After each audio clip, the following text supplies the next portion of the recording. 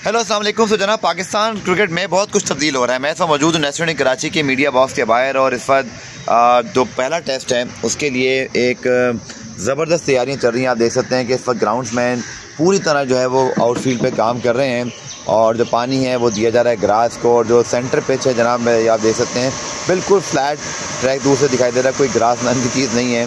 लेकिन अगर आप देखें तो यहाँ पर तैयारी जो है वो हतमी अंदाज में जारी है। और अब तो आपको ये भी बता दूँ ब्रेकिंग न्यूज़ कंफर्मेशन हो गई है कि मुल्तान टेस्ट को भी आ, कराची में जो है वो शिफ्ट कर दिया गया है।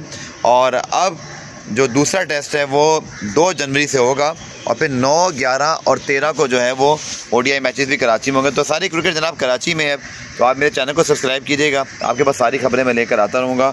और पाकिस्तान क्रिकेट बोर्ड ने आपसे कुछ देर पहले ऑफिशियली बता दिया है। और मैं आपको फिर बता देता हूँ ज़रा डेट्स कहीं आगे पीछे ना हो जाए। जनाब, दूसरा टेस्ट अब दो से छः जनवरी कराची में होगा। ये और फिर ओ जो हैं, वो नौ, ग्यारह और तेरह जनवरी को खेले जाएँगे। सो अब तमाम कुछ जो है, वो आप देख सकते हैं कि तमाम चीज़ें अब सेटल डाउन हो गई हैं आज। मुल्तान में वेदर की वजह से ये सारी प्रॉब्लम हुई थी। एनीवेज जो तब्दीली हुई है पाकिस्तान की सिलेक्शन कमेटी में, और ये याद रखिएगा कि शायद अफीली साहब मुझे जो समझ में आ रहा है कि सिर्फ़ एक ही सीरीज़ के लिए इंटरनल सिलेक्शन कमेटी के चेयरमैन बने हैं यानी कि न्यूजीलैंड सीरीज़ और फिर आने वाली जो वनडे सीरीज़ है और मे भी पी के बाद जो होनी है अब मुझे नहीं पता उसमें होंगे नहीं होंगे लेकिन इंटरेस्टिंग चॉइस है।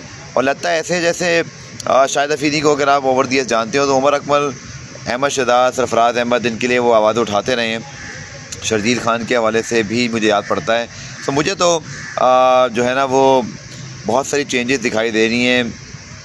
अभी कुछ कहना कबल वक्त है, लेकिन ऐसे लगता है, जैसे शर्जील खान इवन वहाब रियाज या उमर अकमल ये सब आपको शायद वनडे टीम में दिखाई दें। टेस्ट टीम में तब्दीली होगी, नहीं होगी, ये कहना कबल वक्त है, लेकिन internal selection committee test message से दो दिन पहले अनाउंस हुई है तो असूली तौर पर तो टीम में तब्दीली एक दिन पहले नहीं होनी चाहिए। लेकिन मे भी मे भी कि अगर मौजूदा क्रिकेट बोर्ड समझता है भाई कि टीम बिल्कुल सही सेलेक्ट नहीं हुई है कॉम्बिनेशन में प्रॉब्लम है।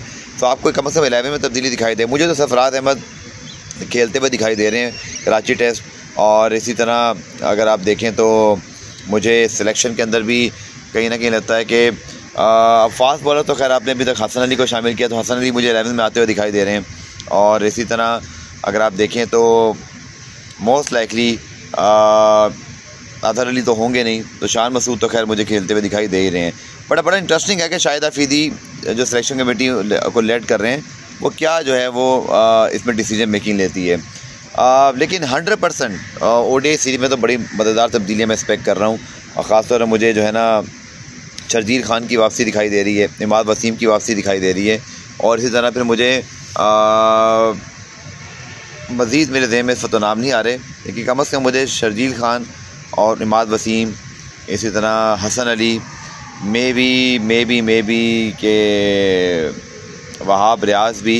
लेकिन वहाब शायद, अब देखिए, हमारी जो टीम है, उसकी इंजरी के क्या मसाइल हैं? चूँकि अभी तक शाहीन और हारिस की इंजरी की अपडेट नहीं है कि वो ODI सीरीज़ में अवेलेबल हैं या नहीं है। So a very exciting time ahead for Pakistan cricket शायद Afridi become the chief selector of internal selection committee but ये एक ही सीरीज़ की मुझे दिखाई देती है और आगे चल के कोई तगड़ा और चीफ सेलेक्टर मुझे आता हुआ दिखाई दे रहा है। शायद Afridi may not continue after Pakistan England series और इसी तरह आगे चल के आपको हेड कोच के हवाले से भी अपडेट मिलेगी।